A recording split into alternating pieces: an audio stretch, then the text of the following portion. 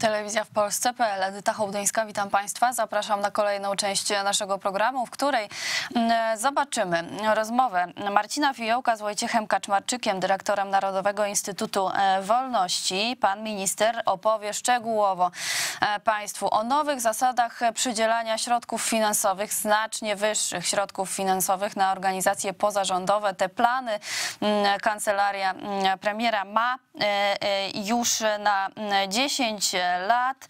No i właśnie jak to będzie wyglądało, czy te mm, dotacje celowe na programy na rzecz rozwoju społeczeństwa obywatelskiego będą e, wyższe? Zapowiadane jest, że tak. Gdzie trafią pieniądze? Jak to będzie wyglądało na mapie kraju? Czy oznacza to centralizację mm, rozdzielania tych środków, czy wręcz przeciwnie? Popatrzmy, posłuchajmy tej rozmowy. Gościem e, telewizji w Polsce.pl jest dzisiaj pan Wojciech Kaczmarczyk, dyrektor Narodowego Instytutu Wolności. Instytutu, wokół którego w ostatnich dniach sporo, sporo zamieszania, sporo informacji, które wypadałoby sprostować i wytłumaczyć. Dzień dobry panie ministrze. Dzień dobry. Panie ministrze, no właśnie, 400 milionów zamiast 30, zamiast 60 e, na konto Narodowego Instytutu Wolności, który ma e, w jakiś sposób prowadzić politykę dla NGO-sów. Dlaczego taki wzrost pieniędzy i czy to prawda? E, to są dane, które, e, które obejmują całą perspektywę 10 lat, którą, którą e, opisuje się w ustawie i w ocenie skutków regulacji. Tak naprawdę w perspektywie rocznej dotychczasowe plany wydatków Instytutu, które są szacowane na około 100 milionów złotych. W poszczególnych latach zwiększenie limitu wydatków może nastąpić o około 30 milionów, 30-30 parę milionów realnie. To znaczy to zwiększenie e, będzie nie dziesięciokrotnie, tylko o 30%. I e, te zwiększenia, o których mowa w projekcie ustawy o zmianie ustawy o Narodowym Instytucie Wolności, w ogromnej większości, w, w, w znacznej części, E, dotyczą zwiększenia dotacji celowej na dodatkowe programy, które Narodowy Instytut Wolności będzie realizował na rzecz społeczeństwa obywatelskiego. E, program rozwoju harcerstwa, program rozwoju uniwersytetów ludowych, e, także programy dla mediów obywatelskich i lokalnych organizacji strażniczych. Natomiast w znikomej części oczywiście E, na koszty zarządzania Narodowym Instytutem Wolności do tej dotacji, która już jest w tej chwili przyznana około 3,5 miliona złotych e, rocznie. Ta dotacja będzie zwiększona w tym roku o 5 milionów, ma być zwiększona około 5 milionów i 7 milionów e, w kolejnych latach. No i wynika to z tego, że znacznie więcej zadań, oprócz tego, tego zadania, którym w tej chwili instytucja zajmuje, czyli Fundusz Inicjatyw Obywatelskich, ma realizować w kolejnych latach. Panie ministrze, w ogóle po co nam Narodowy Instytut Wolności? Do tej pory takiego ciała nie było. Do tej pory te organizacje finansowane były w zupełnie inny sposób. Skąd pomysł na centralizację e, pilnowania środków na organizacje pozarządowe? No właśnie, może nie centralizację.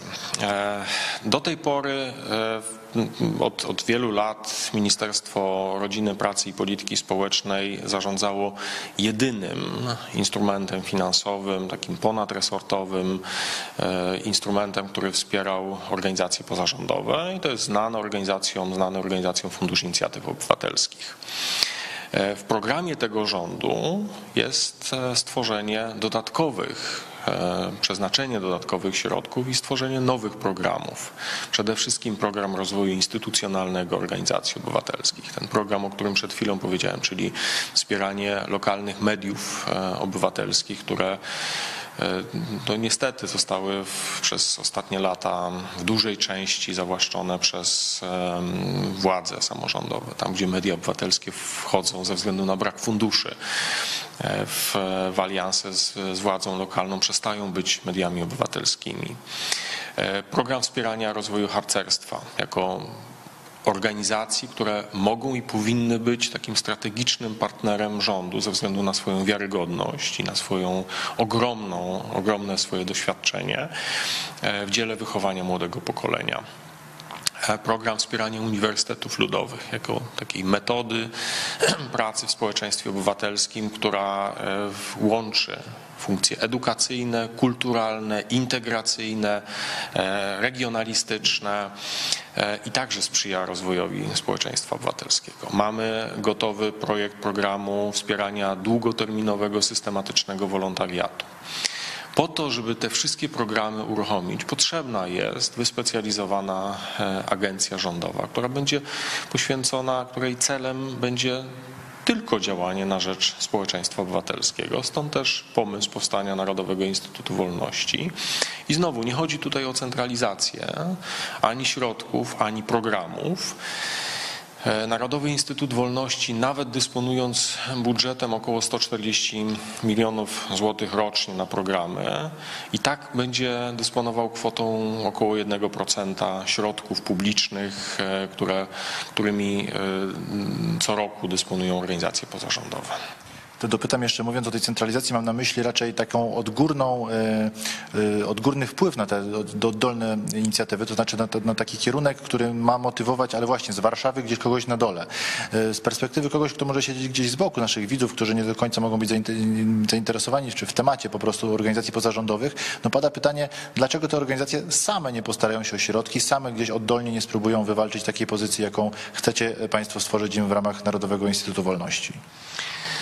E, Nawet w dojrzałych demokracjach, w Stanach Zjednoczonych, Wielkiej Brytanii, we Francji, w Niemczech, w południowej Europie, w Skandynawii, państwo odgrywa istotną rolę we wspieraniu funkcjonowania inicjatyw obywatelskich.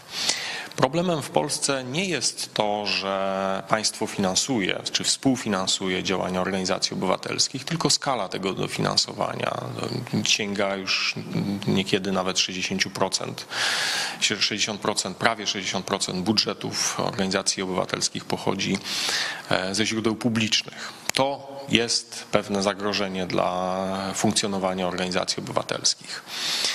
E, Z drugiej strony taki instrument finansowy, który do tej pory od wielu lat e, działał, funkcjonował w społeczeństwie obywatelskim, czyli Fundusz Inicjatyw Obywatelskich, jak pokazują e, badania, czy raport NIK-u, czy raporty ewaluacyjne, upraszczając,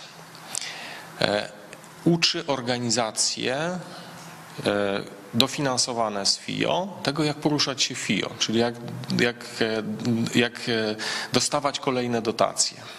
Naszym celem, także e, w przeprojektowaniu trochę tego funduszu w tym roku, było stworzenie instrumentów, możliwości, procedur, tego, aby organizacje zaczęły się także uczyć tego, w jaki sposób sięgać po środki prywatne, szukać gdzie indziej źródeł finansowania swoich, e, swojej działalności, po to, żeby jeszcze w większym stopniu e, mogły się rozwijać. Dopytam, bo nie wiem, czy dobrze rozumiem intencje pana i, środowiska rządowego. Jak rozumiem, chodzi też trochę o rozbicie pewnego monopolu w tych środowiskach pozarządowych. Chodzi o otwarcie furtki dla tych e, z organizacji, które do tej pory były gdzieś na marginesie albo po prostu poza tym takim układem, w którym udało się zyskać te środki.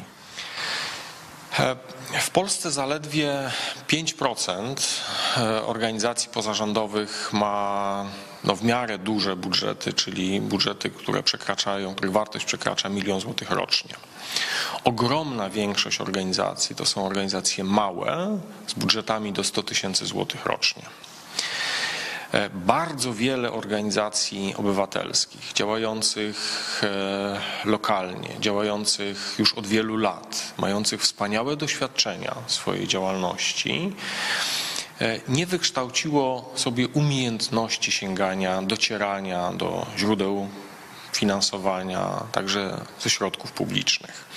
Istotnie celem, naszym celem, cele- celem tych programów rządowych, czy to w ramach FIO, czy w ramach nowych programów, jest pewnego rodzaju równoważenie trzeciego sektora, czyli dawanie większej szansy słabszym, mniejszym, tych z mniejszych środowisk, tych z dala od Warszawy, ponieważ tam także jest społeczeństwo obywatelskie i te organizacje także tam powinny się móc rozwijać. Od razu wejdę w słowo, bo wtedy mówią e, przeciwnicy rządu, że to nie chodzi o organizacje mniejsze, ale te, które będą sprzyjać ekipie Zjednoczonej Prawicy. No, ja nie mam takiego wrażenia. E, ten e, program, tegoroczny konkurs Funduszu Inicjatyw Obywatelskich, jak e, popatrzymy na wyniki konkursu ogłoszone dwa dni temu, we środę, to na ponad e, 500 dotacji, które zostanie udzielonych organizacjom pozarządowym jest bardzo wiele organizacji, naprawdę bardzo różnych. Także e, to trudno zgodzić mi się z taką opinią. Panie ministrze, na koniec jeszcze dopytam, kiedy e, realnie możemy powiedzieć o takim kształcie sektora organizacji pozarządowych, który no, mógłby być e, postrzegany jako ten, jaki zaplanowali sobie panowie gdzieś w ministerstwie czy, czy w Narodowym Instytucie Wolności?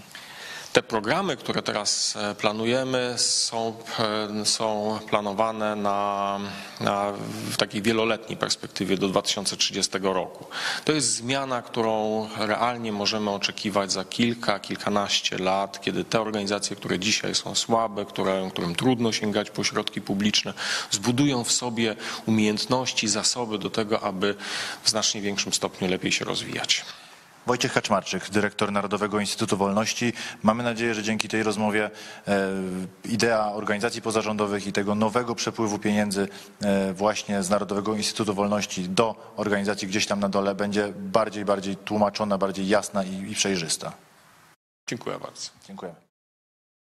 To tyle, jeśli chodzi o rozmowę na temat organizacji pozarządowych. Wyjaśnienia mm, od Marcina Fiołka i jego gościa. My za chwilę po krótkiej przerwie przechodzimy do przeglądu najważniejszych informacji na portalu w polityce.pl. Zajrzymy na portal, zobaczymy, co już teraz od rana mogą Państwo przeczytać, zobaczyć, co już teraz jest najchętniej komentowane.